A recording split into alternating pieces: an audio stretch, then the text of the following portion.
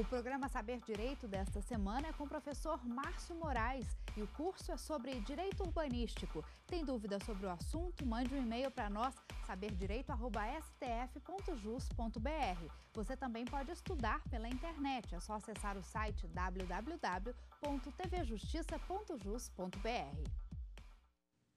Olá, sejam bem-vindos a mais um Saber Direito do TV Justiça. Meu nome é Márcio Moraes, sou advogado, Sou membro do, da Comissão de Direito Urbanístico do Conselho Federal da OAB, especialista em Direito Urbanístico. E ao longo dessa semana nós estamos tratando do tema de Direito Urbanístico. Na primeira aula, nós falamos sobre o Estatuto da Cidade e o Direito Urbanístico. Traçamos um pouco o que vem a ser o Estatuto da Cidade, alguns dos seus instrumentos. Falamos um pouco sobre o plano diretor e a competência do município para poder tratar e ordenar o seu território.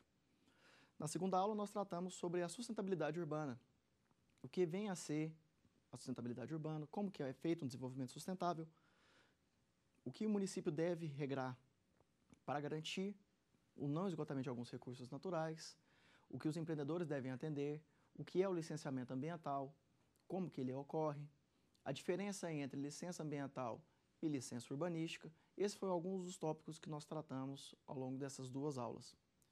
Nessa terceira aula, nós vamos falar sobre política urbana. Como que ocorre a política urbana no Brasil? Nela, ao decorrer dela, nós vamos tratar alguns instrumentos de política urbana, como que é a visão do, do, da política urbana hoje no país, enfim, como que os municípios, como que o Brasil se organiza para poder tratar da questão urbana. Como nós já falamos no primeiro, na primeira aula, o urbanismo, o direito urbanístico, trata do urbanismo. E o direito urbanístico ele tem que ser tratado como ciência, como direito positivo e como arte. Como direito positivo porque ele tem uma série de normas que tratam a questão do urbanismo. E como ciência porque ele tem que abranger vários, várias matérias de conhecimento externos ao direito, como arquitetura, como engenharia, etc., para poder traçar o, o pleno desenvolvimento da cidade. E como arte, porque a cidade ela tem que ser desenhada de forma a ser funcional, a ser é, boa, prática, útil e saudável para a população. Então nós vemos que não basta só o embelezamento da cidade. O que nós buscamos na cidade hoje não são só prédios bonitos, esculturas bonitas, praças bonitas. O que nós precisamos é que o urbanismo hoje seja funcional, seja pleno, que ele promova o desenvolvimento da cidade. A beleza é necessária, ela é essencial e ela é boa. Só que para a cidade ser justa e perfeita, ela deve ser funcional. Ela tem que permitir o pleno desenvolvimento das atividades urbanísticas. E é nesse ponto que entra a, a, a política urbana do país. Como tratar disso? Vemos então que a política urbana deve sempre ter como foco o pleno desenvolvimento das funções urbanísticas da cidade, o pleno desenvolvimento das atividades urbanísticas da cidade, o pleno desenvolvimento, então, da característica do cidadão de poder morar, trabalhar e se divertir na cidade de modo sustentável, garantindo, como nós dissemos na aula passada, a plena sustentabilidade da cidade, que ela ocorra através do seu desenvolvimento sustentável. Para isso, como nós já adiantamos um pouco na primeira aula, o Estatuto da Cidade traz alguns instrumentos, alguns instrumentos necessários e que dão poder ao município de promover o seu desenvolvimento sem afetar os bens e naturais e artificiais para as gerações presentes e futuras, sem esse, esse desgaste. Então, a política urbana deve focar nisso. Como desenvolver a cidade de forma sustentável. É, nós já dissemos alguns dos instrumentos, nós temos a, a edificação compulsória, o IPTU progressivo, a outorga onerosa do direito de construir, a desapropriação urbanística. Mas desses mecanismos que são utilizados pelo poder público para gerir a sua função urbana, para poder promover a mais plena função urbana do país, um instrumento eh, nós entendemos que é de primordial importância porque ele é uma inovação do Estatuto da Cidade trata-se da operação urbana consorciada. A operação urbana consorciada é uma novidade na legislação urbanística geral do país e trata de uma verdadeira revolução que é dada ao município promover em determinada região de sua cidade. A operação urbana consorciada ela é uma cooperação entre poder público e iniciativa privada para promover uma revalorização ambiental, uma requalificação urbanística em determinada região da cidade e mediante capital privado, uma contrapartida privada e em compensação o poder privado vai poder também verticalizar, vai poder construir, vai poder se empreender naquela região mediante um título que a prefeitura vai emitir chamado CEPAC. Bom, traçando mais a miúde o que vem a ser a operação urbana. A operação urbana, como disse, ela é um planejamento que o município faz.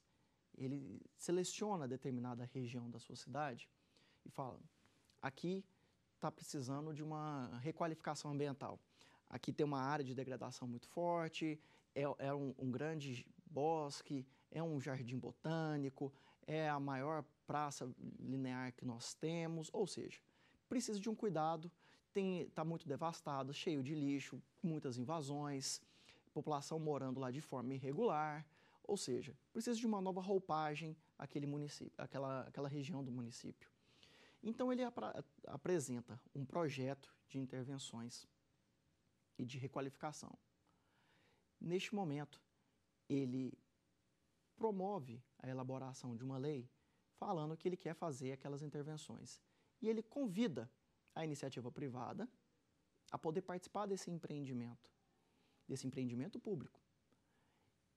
Na medida que vai ser construído, na medida que vai ser necessário um recurso X 100 milhões, 200 milhões, 500 milhões, 1 bilhão de reais para poder fazer aquelas obras, o município promove a divisão de risco dessa obra. Ele convida a iniciativa privada a comprar títulos desta operação, o que eu disse, os CEPACs, que significa Certificado de Potencial Adicional de Construção. No perímetro da operação urbana, só vão poder construir nessa região os possuidores da CEPAC só irão poder empreender na região beneficiada pela requalificação urbana aquelas pessoas que adquirirem a CEPAC. O município, então, com a quantidade de CEPACs que ele vai adquirir, que seja suficiente para poder cobrir as obras propostas, vai colocar em um mercado aberto, um mercado de bolsa de valores, a venda desse CEPAC. Como vai funcionar, então? A iniciativa privada, os interessados, os usuários permanentes, vão, através da Bolsa de Valores ou de balcão organizado, comprar esses títulos de CEPAC. Através da arrecadação desse título de CEPAC feito pela Bolsa, o município assume a arrecadação, garante a arrecadação daquele empreendimento. E com esse valor, ele consegue então implementar esse empreendimento. Ele consegue então executar aquela requalificação.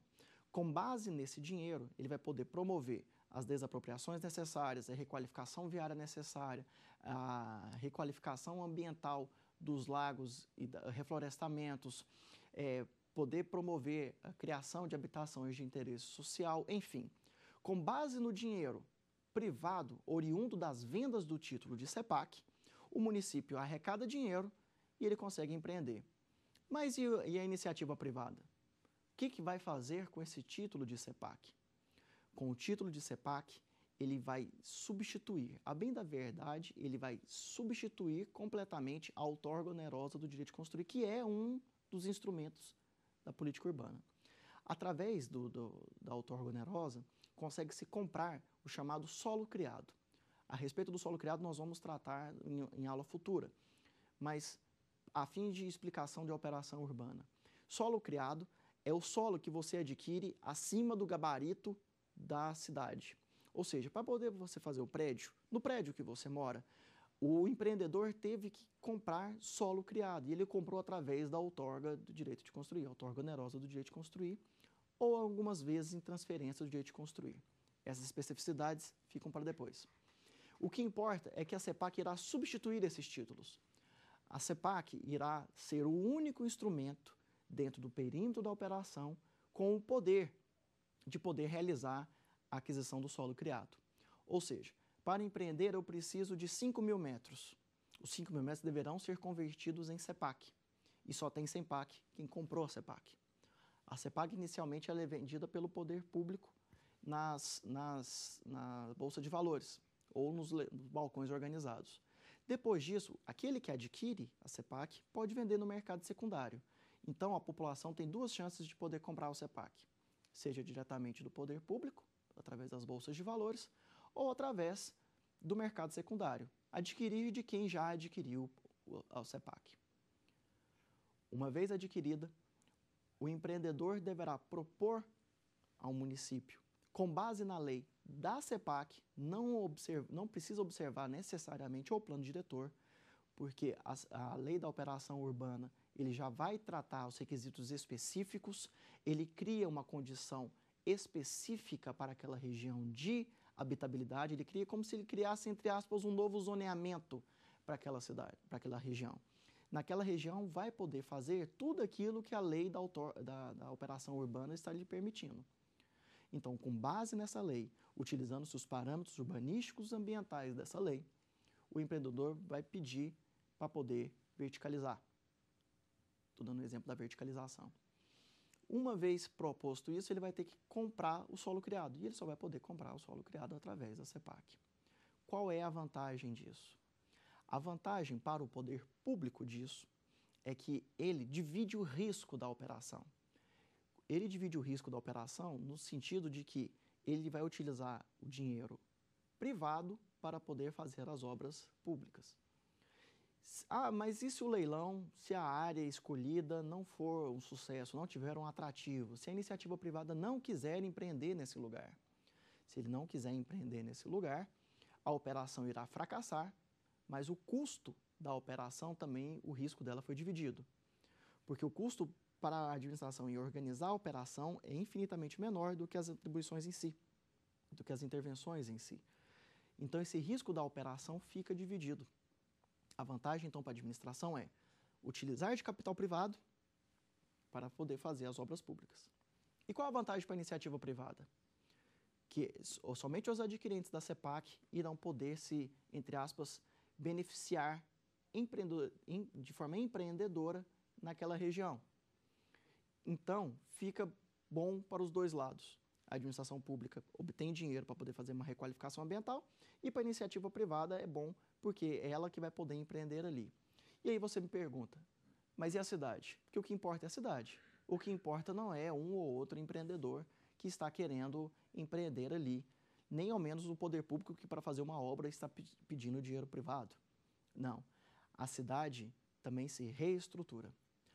Temos algumas situações que nós podemos dar como exemplo prático. No Rio de Janeiro está ocorrendo a Operação Porto Maravilha, Operação Urbana Porto Maravilha, que tem por objetivo a requalificação toda do porto do centro da cidade. Com o dinheiro da Operação Urbana Consorciada, isso vai ser possível sem gasto público ou significativo gasto público. Quem que ganha nisso? É indubitável que a cidade também ganha. Ela vai ter uma qualidade de água mais limpa, odor da, da região fica melhor, a valorização da cidade fica melhor, ela ganha um novo cartão postal, a população que está ali em situação de, de risco passa a ganhar uma habitação digna, porque ela tem a pessoa que for direcionada ali, ela tem que ser relocada dentro, preferencialmente dentro do perímetro da operação, em uma habitação digna, ou seja, não só o empreendedor ganha, não só a administração ganha em não gastar mas a própria cidade inteira ganha com os benefícios da operação urbana. Então, em resumo, na operação urbana há uma divisão de risco da, é, da, das obras que serão necessárias e com esse dinheiro a administração pública poderá executar uma grande intervenção, uma macro intervenção na sua cidade. E ela vai poder requalificar urbanística e ambientalmente aquela região, dando garantias de que esse dinheiro não vai ser é, aplicado fora da operação urbana. Mas como que pode garantir isso? Pode-se garantir isso porque a lei da operação urbana exige que toda arrecadação seja feita ali e ela tem a fiscalização, além de instituições bancárias, de toda a população. Então, esse é um dos grandes mecanismos de, da, da, de instrumentos de da, da política urbana do Brasil. Vamos à nossa primeira pergunta. Qual o papel dos entes federados na política urbana? O papel dos entes federados na política urbana é geral. Como nós dissemos, as três esferas de governo devem se atentar para a política urbana do país. O governo federal deve atentar para a situação que está ocorrendo no município. O Estado deve ocorrer, olhar para as situações que estão ocorrendo nos seus municípios e o município deve se atentar àquilo que ocorre na sua, no seu espaço local. Tanto assim o é que, em 2012, o, o, a, o governo federal lançou o, a Política Nacional de Mobilidade Urbana. Isso é um exemplo, é um exemplo de como que os entes federados, no caso a União, está traçando e preocupando-se com a questão urbana. A mobilidade urbana afeta primeiro nas cidades.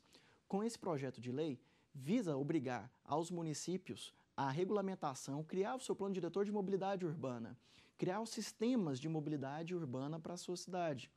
Mobilidade urbana é essa entendida nas suas mais variadas formas, seja no transporte privado, no transporte público, transporte de massa, transporte de ciclovias, em todas as suas figuras, trazendo a obrigação do município de implementar esse plano diretor. O Estado também tem a obrigação de analisar, o, o, criar o plano diretor das metrópoles, o plano diretor metropolitano, de modo a analisar na sua, na sua gestão aquilo que é melhor para o urbanismo, aquilo que é melhor para o Estado. E o município, de igual forma, atender uh, e criar o plano diretor e atender as demandas que ali surgem, praticando os atos necessários para que se tenha o seu desenvolvimento sustentável. Isso nos leva a perguntas sobre a questão dos entes federados, sobre qual é a competência do município. O, o que o município pode fazer? Quais são as limitações que o município tem? De onde que o município tem, tira fundamento para poder criar direitos e obrigações para os seus munícipes. Isso está na Constituição Federal, no artigo 30, que trata que compete ao município legislar sobre tudo aquilo que seja de interesse local. Então, o município compete tratar de interesse local. Tudo aquilo que ele verifica que está que é necessário para a sua cidade poder desenvolver ou que seja necessário evitar para que o desenvolvimento sustentável ocorra, ele vai poder legislar nos limites já, já traçados pela Constituição, obviamente respeitando as competências privativas e exclusivas dos, entes, dos demais entes federados, mas a par disso, ele tem toda a liberdade para poder traçar a política urbana do seu município. Ao município compete, portanto, tratar do uso e ocupação do solo de forma plena, como que vai ser? Serão as formas de parcelamento do solo dentro de, sua, de seus limites, como que vai ocorrer a, a, os critérios de postura e de construção, vai delimitar o seu código de edificações, ele vai criar, pode criar o seu código do meio ambiente para traçadas da regulamentação ambiental que deve ser observada em seu território, enfim. Podemos generalizar falando que a competência do município em matérias de política urbana é quase plena ele deve basicamente observar as competências exclusivas e privativas da União e do Estado. Afora isso, ele tem uma liberdade muito grande para poder tratar do, do, dos assuntos do seu interesse local, conforme ele propõe a Constituição Federal.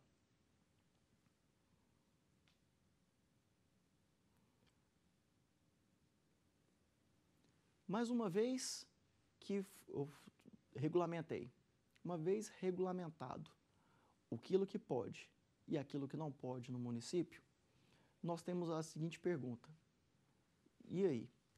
O município vai fiscalizar? Ele tem poder de fiscalizar? Como que fica a questão do poder de polícia para o município? O poder de polícia, como todos nós sabemos, ele é um poder dado à administração pública de poder averiguar os, o, o cumprimento de suas disposições.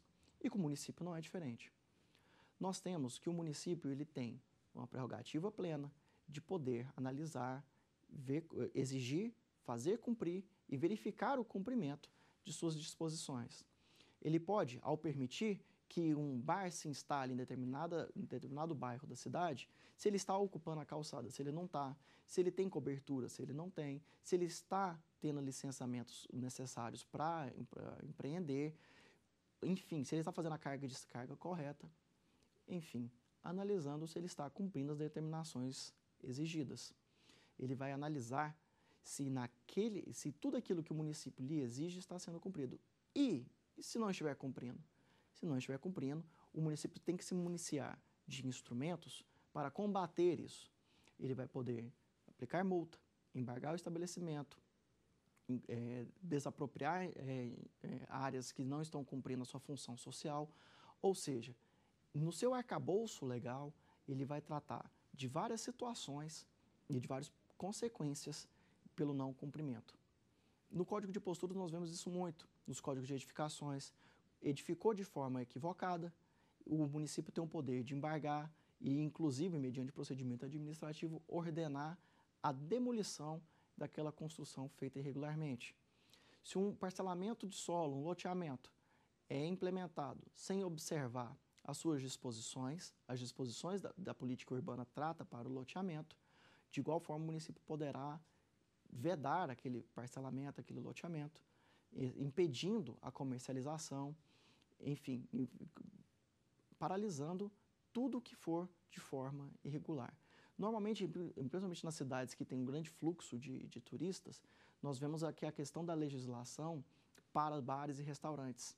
Toda legislação que não, todo empreendimento que não cumpre essas determinações acabam por sofrer graves sanções. Sempre que tem muito, muito turista, tem muitos bares. Muitos bares devem observar toda a legislação. Não observou, o poder de polícia pode vir e paralisar aquela atividade ou trazer sanções mais graves para o seu empreendedor.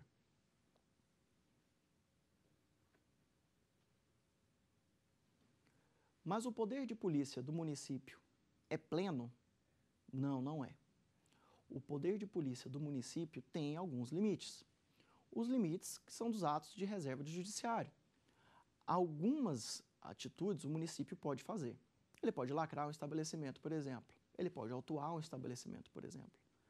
Mas, uma vez decretada a desapropriação, se houver resistência do proprietário em sair, o município pode, por força própria, passar uma patrola, né?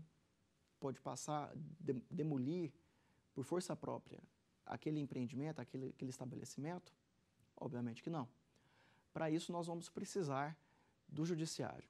O município declara aquela área desapropriada, ele declara a necessidade pública daquela, daquela, daquela área, sustenta isso para o judiciário, realiza o depósito lá do pagamento da, da indenização justa e prévia, e o judiciário, então, por força sua, ordena a desocupação, inclusive mediante força policial.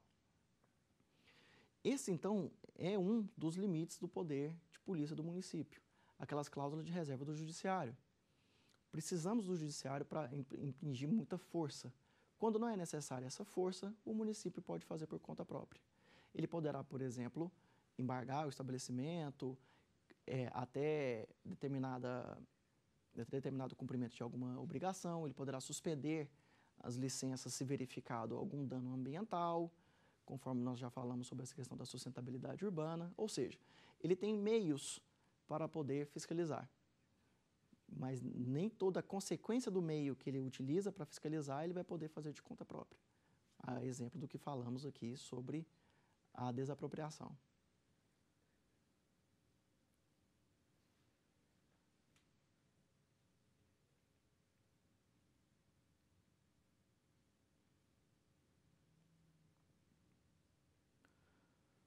Um dos maiores instrumentos que nós temos de política urbana ao lado do plano diretor, que se mostra como a maior referência de instrumento para a política urbana no, município, é o zoneamento.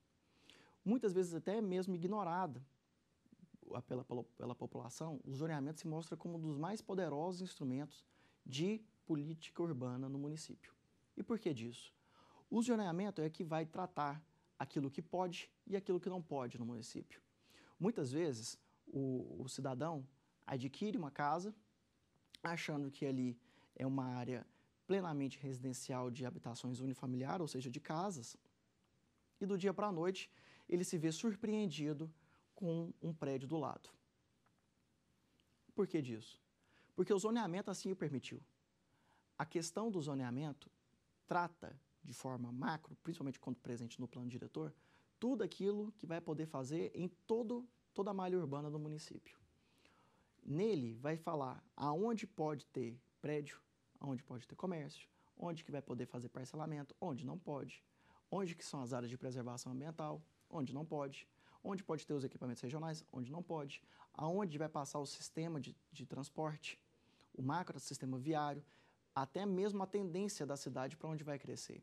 Nós vamos ver lá os eixos de desenvolvimento da cidade, ver aonde vai poder ter o maior adensamento. Então, o cidadão, quando compra um, um, um lote ou compra já uma casa em determinado eixo de desenvolvimento da cidade, não se engane. Ali, se não amanhã, mas num futuro próximo, podemos vir a ter sim prédios.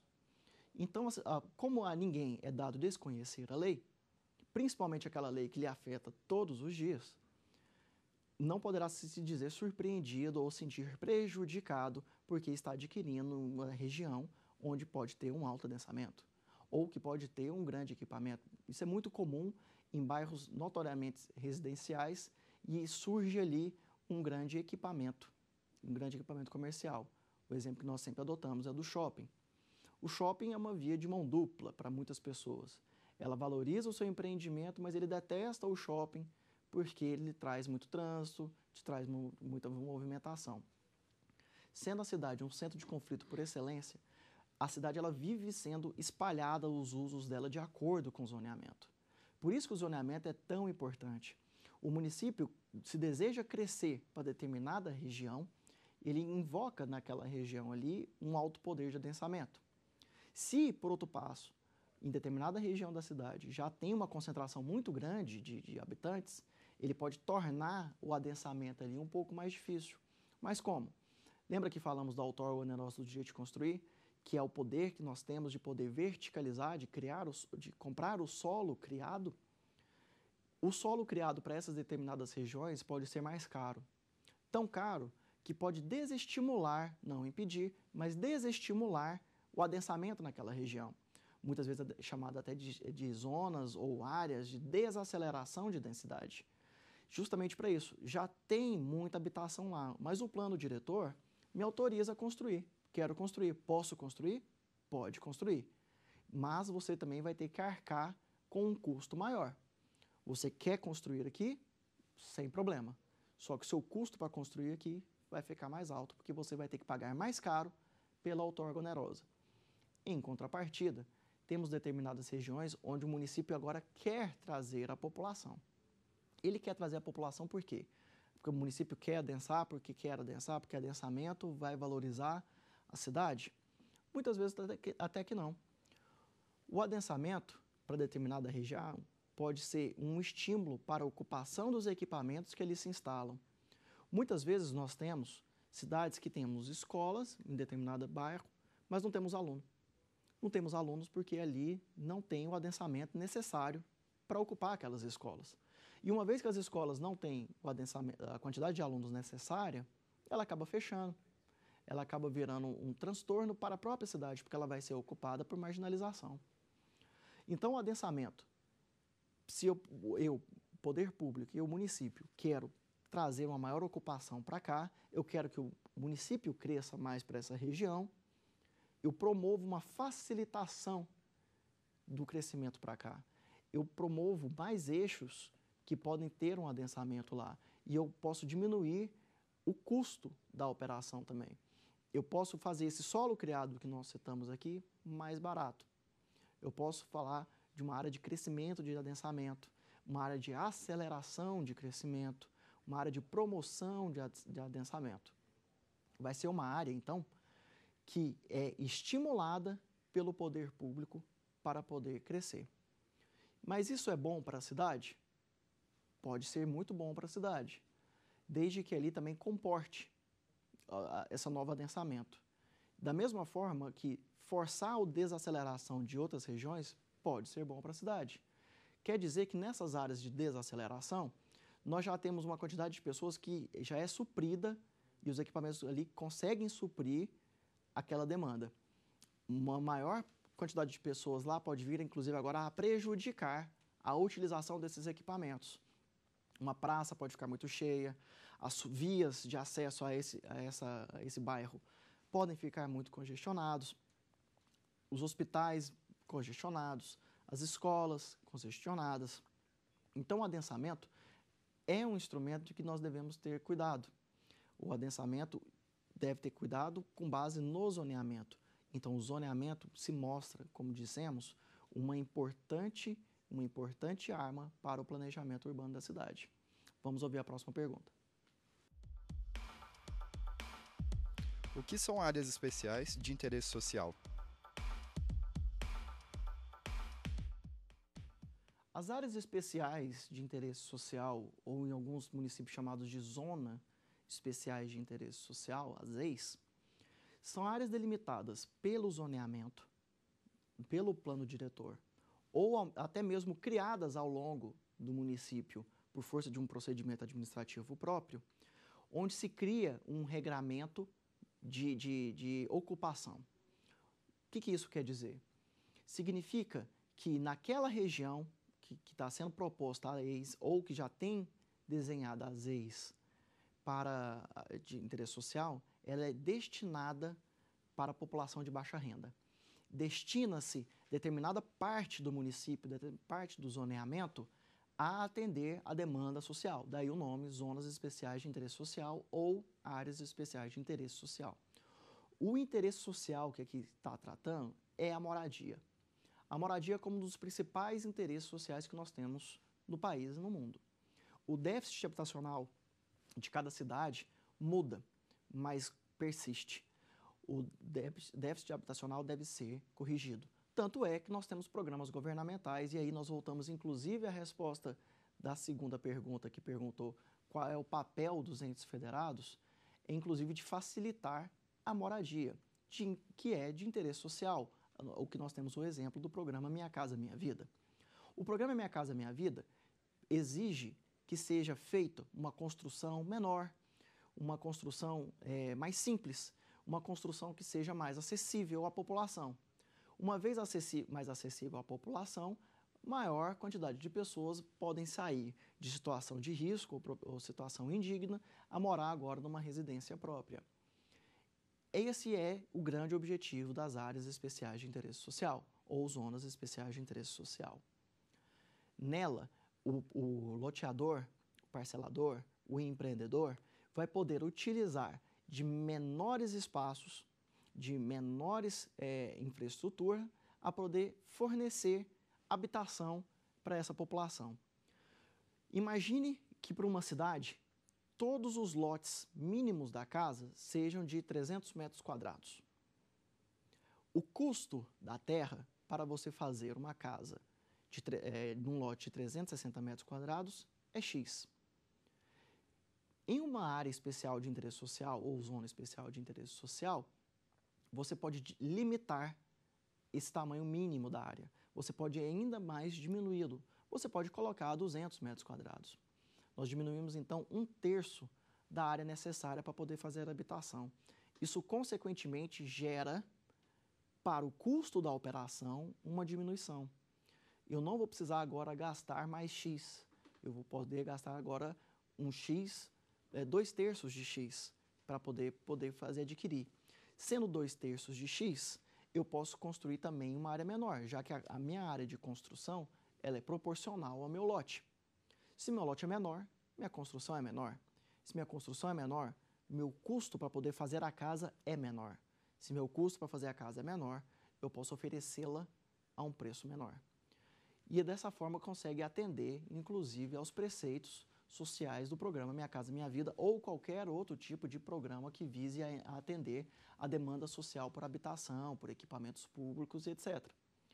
O, sendo o custo da operação menor, maior será a oportunidade para a população de baixa renda poder ocupar aquelas áreas. Quanto maior a população que for ocupar essas áreas, menor o déficit habitacional. Daí a importância das AEs ou ZEIs, é as áreas de interesse social ou zonas de interesse social, com o zoneamento. O zoneamento é que traz a justa medida para isso. O zoneamento é que vai permitir, logo de cara, que determinada região vai ser abastecida de habitações de interesse social, de equipamentos comunitários, é as zonas que mais necessitam, por exemplo, de, de creches, hospitais, eh, escolas, ao passo que outras determinadas regiões da cidade, por serem já adensadas por população que não necessita de, desses benefícios habitacionais de interesse social, elas podem ter como reduzida esse tipo de equipamento. Então, poderiam ser tudo direcionado para lá. Vejam, portanto, a importância que é as áreas especiais, que são as áreas especiais de interesse social. Elas, através do zoneamento, podem promover uma, uma diminuição significativa da, do déficit habitacional da cidade. E é exatamente por isso que alguns municípios não limitam as AEs ou as ZEIs diretamente no seu plano diretor e tornam aquilo lá fixo. Vários municípios admitem em seu plano diretor que sejam criadas AEs na cidade. E elas vão ser criadas através de um procedimento administrativo, obviamente atendido ao que dispõe o plano diretor, mas ele vai, vai poder, atender a determinadas características, a promover ali naquela região da cidade uma nova ex, uma nova ex. Normalmente, esse procedimento segue a seguinte rito. Ele tem já um embasamento do plano diretor ou de uma lei específica que vai tratar de como que vão ser criadas. Normalmente é uma situação onde perto daquela zona já tem toda uma infraestrutura que merece ser ampliada e ele propõe que aquela área dele, que seria ocupada pelos ritos normais do plano diretor, sofram os benefícios das zonas especiais de interesse social. Ou seja, que se admita naquela região edificar a menor, num lote menor, com frações de habitação menor. Isso vai passar por um colégio. Normalmente esse colégio ele é feito de participações públicas e de participação privada. Novamente, sempre na matéria de urbanismo, nós devemos passar para a participação público-privada.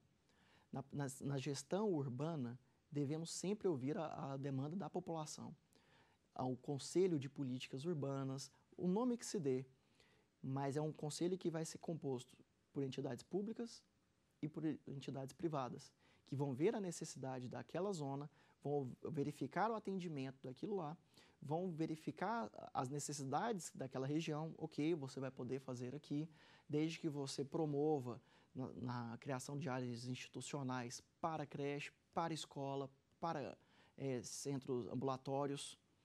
Ele vai poder criar essa região, mas ele vai ter que ter essa contrapartida para ele poder fazer a demanda. E chegamos novamente na questão da gestão democrática da cidade. A gestão democrática da cidade é o maior poder que a população tem para gerir a cidade. Muito se pensa que a gestão é que a participação popular é meramente através de voto. Ah, está chegando a eleição, eu vou votar, vou eleger o meu, o meu representante e pronto, minha função com a cidade acabou. Assim não é. Ao longo dessa semana, nós sempre tratamos a importância que é a gestão participativa a participação da população em realizar o, o controle, o gerenciamento da cidade. E, para a política urbana, isso é mais importante ainda.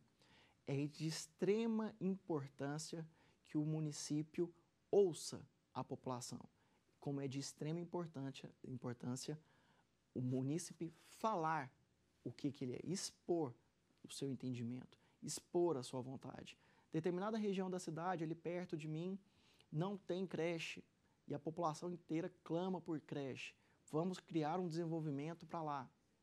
Ou então, tem lá a creche, mas ela não tem nenhum tipo de infraestrutura, não tem asfalto, não tem iluminação, não tem sarjeta, não tem calçadas. Vamos então provocar para lá. Tem calçadas, mas as calçadas elas não, não respeitam ao plano de mobilidade urbana o cadeirante não consegue chegar até lá ou, ou se manter na, na, na calçada. Ou seja, esses problemas que muitas vezes o município ignora. E ignora muitas vezes até não por falta de vontade, mas por falta de pessoal de poder ir lá olhar, é o que torna tão importante a participação do município, eh, da, da, da população junto ao município. O município deve ter não só os seus fiscais de quadro, mas deve contar com a população de ser o seu fiscal. A população deve ser o maior fiscal dela mesma. A, a população deve entender que a cidade é dela. Sendo dela, ela deve cuidar. E como que ela cuida? Pedindo, opinando, provocando e, por que não, ordenando o crescimento do município ou as ações públicas para atender aquela demanda. E ela faz isso através de conselhos, ela faz isso através de comitês, ela faz isso através de audiências públicas, ela faz isso através de constante participação pública. Sempre que o governo quiser fazer alguma coisa e consultar, devemos participar por escrito, online, nesses, nos sites de, de, de, participação popular, de peticionamento. São formas que o, o poder público, paulatinamente, não ignora. A gestão virtual da cidade, chamado por alguns a gestão virtual, que é justamente o peticionamento eletrônico, tem ganhado tanta repercussão que inúmeros projetos de leis circulam no sentido de atender, de dar validade àquele peticionamento. Várias pessoas não, não conhecem ou não têm acesso, muitas vezes, aos abaixos assinados, que se localizam em cidade aqui ou ali, para propor determinada situação. Deste modo, estão se querendo viabilizar o, o posicionamento virtual da população. Aceitar que determinados sites, sejam sites oficiais ou criados para isso, para que tenha um peticionamento eletrônico, que são formas da participação popular. Outra forma que a participação popular tem que ter e que tem que ser viabilizado é que normalmente o município, o estado e a União, ao promover a audiência pública, promove a audiência pública no seu sentido rígido. Abre-se um auditório, a população é convocada em determinado horário, muitas vezes em horário de expediente ou no, no final do dia, convoca a população e a população ali opina. Mas no meio que nós temos hoje tecnológico, e justamente com base nesse conceito que nós falamos de aproveitamento da, da estrutura virtual, das, das redes sociais, etc., nada impede hoje, como ideia, de que o, o município promova um debate online. Nada é, impede que sejam criados um fórum de discussão entre o poder público e a população de forma virtual. Desta forma, facilitaria e muito para a população que quer opinar, mas como aquela audiência pública ocorreu às 9 horas da manhã e ele está no trabalho, ele não pôde opinar. Se for uma, uma opinião virtual, ele pode talvez tomar um tempo e poder peticionar, poder manifestar a sua opinião via internet, fazer a sua contribuição de forma virtual, sem não presencial. Hoje, pelos mecanismos que nós temos de transmissão sempre ao vivo de algumas sessões, né, de, de formatação das redes sociais e do meio de comunicação, por que não exigir do município, exigir do Estado, exigir da União, criação de mecanismos para que isso se torne realidade também para a consulta pública? Esta é uma das formas da participação popular, da gestão popular da coisa pública. É oportunizar e fazer criar situações onde a população possa opinar do jeito mais amplo possível. Não há no ordenamento qualquer obrigação de que a audiência pública seja exclusivamente, eu não tiro a validade ou a necessidade da audiência pública como forma de auditório, mas também permitir a sua, e dar validade para a opinião de forma virtual, de uma forma não presencial. Como o sistema virtual é uma realidade hoje no Brasil e no mundo, devemos utilizar e cobrar da, da, nossa governança, e aí entra a participação do direito urbanístico nesse sentido, de forçar o seu governante para, atendendo a política urbana, atendendo a gestão democrática da cidade, em oportunizar ao cidadão a maior forma e mais ampla forma de manifestação possível. Sendo que um fórum, é, utilizando a internet, de alguma forma usar o sistema não presencial, é sim uma forma muito válida para expressão de opinião da população. além da população, nós temos também os, as entidades representativas da população. Nós temos que cobrar dos nossos conselhos profissionais, nós devemos cobrar da, das associações de bairro e dos representantes comerciais, enfim, que eles representem também na estruturação e facilitação da coisa pública. Um exemplo que nós vemos muito, e é uma realidade que nós temos na maioria das cidades do país, é a situação de aprovação de projeto, que muitas vezes a cidade se mostra prejudicada por conta do atraso do projeto. Isso é uma questão que deve ser levada em conta população, pela população ao poder público para que ele possa gerir de melhor forma a sociedade. Vamos à nossa terceira pergunta. Como a população pode participar da gestão governamental? A população pode participar dessa forma que nós estamos traçando, tratando aqui. Ela cobrar de seus representantes legais, ela indo diretamente para questionar, exigindo, uma vez presente, uma, uma adequação ao texto, propor, pedir suspensão daquela audiência pública de forma a atender aos comandos da lei. É, tivemos uma, uma oportunidade de participar de uma audiência pública onde estava se discutindo justamente a revisão de um plano diretor de uma cidade. Neste momento, uma situação muito interessante ocorreu e que demonstra como que a participação pode participar. Na, ao longo da audiência pública foi discorrendo quais eram os, os pontos do plano diretor que seriam alterados. Ao chegar ao final dessa explicação, uma senhora de aproximadamente uns 70 anos levantou a mão e disse que exigia uma nova audiência pública, porque ela queria ter tempo para poder analisar aquilo que foi escrito e aquilo que foi explicado. Cinco, neste momento, o presidente da, da sessão determinou que se terminasse a explicação, então, do, do, das alterações e suspendeu a audiência pública, tendo sido remarcada para 15 dias posteriores. Ou seja, uma única pessoa, uma única cidadã, se predispôs a discutir num universo de 200 pessoas que estavam naquele auditório, uma única pessoa levantou e exigiu uma nova audiência pública, para que lhe desse tempo de analisar aquele projeto que estava escrito. E assim foi feito. E isso demonstra de forma muito clara como que a participação popular pode ser muito forte, pode ser muito significativa.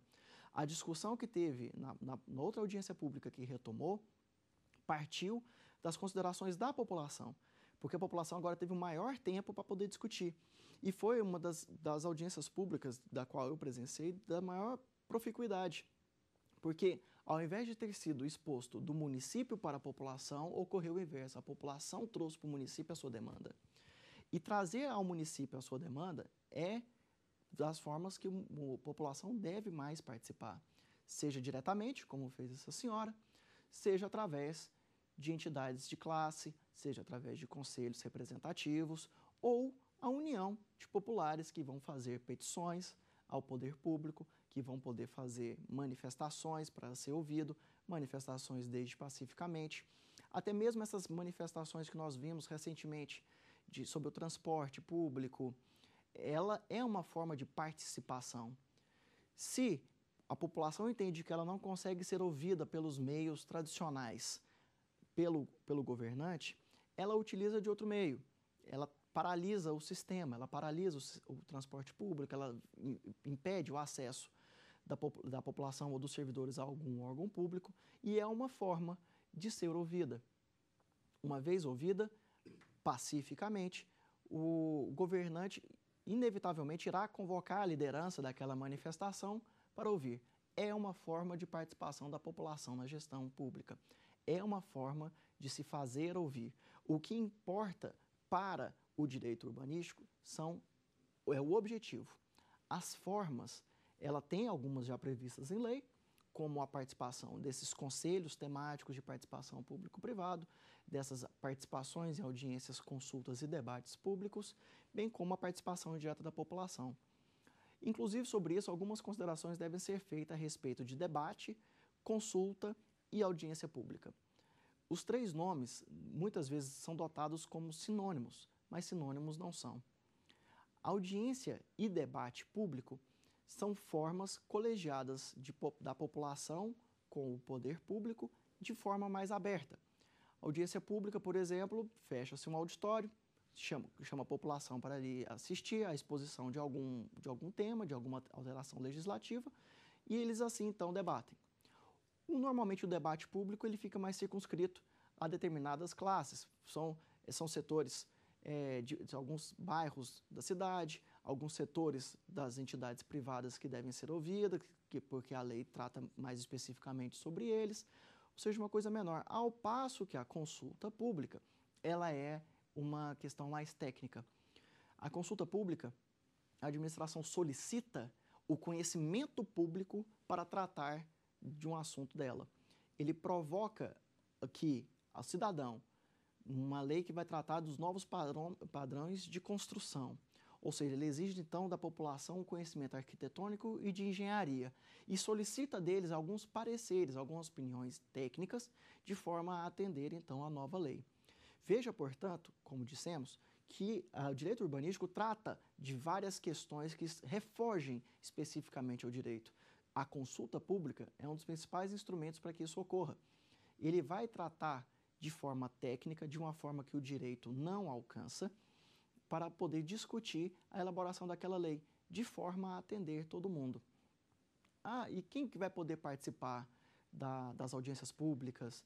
Quem vai poder participar desses conselhos de participação público-privados?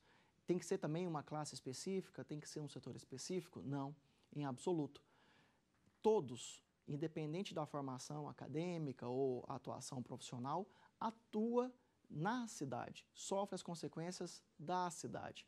Então, quem deve opinar? Quem mora na cidade, quem sofre com, com as mazelas da cidade e que pode promover sugestões porque vivencia no dia a dia. Quem participa da, dos conselhos, das audiências públicas, deve ser a população. Na primeira aula, citamos inclusive o exemplo da, daquele morador que desce do seu apartamento, do 15º andar, vai ao subsolo, pega o carro, dirige por meia hora, enfrenta um trânsito para poder trabalhar no outro lado da cidade e no meio do caminho recebe uma ligação de que a sua colaboradora doméstica não vai poder participar, não poder trabalhar, porque o transporte não passou lá. Isso é um microsistema que mostra a, é, o problema da cidade. É a mobilidade urbana, é o uso do subsolo, é o potencial construtivo são pessoas comuns, todos nós é que sofremos isso. Dessa forma, todos nós devemos participar. Vimos então hoje, para fazer um resumo, sobre a importância da política urbana no país e os mecanismos que eles podem ser utilizados. Citamos inclusive aqui um dos de maiores repercussões, que é uma inovação do Estatuto da Cidade, que é a operação urbana consorciada. Por fim, chegamos à gestão democrática da cidade a população pode participar. Te aguardo na próxima aula. Muito obrigado. Tem dúvida sobre o assunto? Mande um e-mail para nós saberdireito@stf.jus.br. Você também pode estudar pela internet. É só acessar o site www.tvjustiça.jus.br.